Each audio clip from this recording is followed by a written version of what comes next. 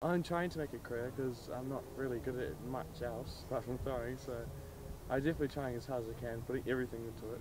Down, wide, no. Yeah. I don't like it so much. Oh, so, what's your ultimate goal or ambition?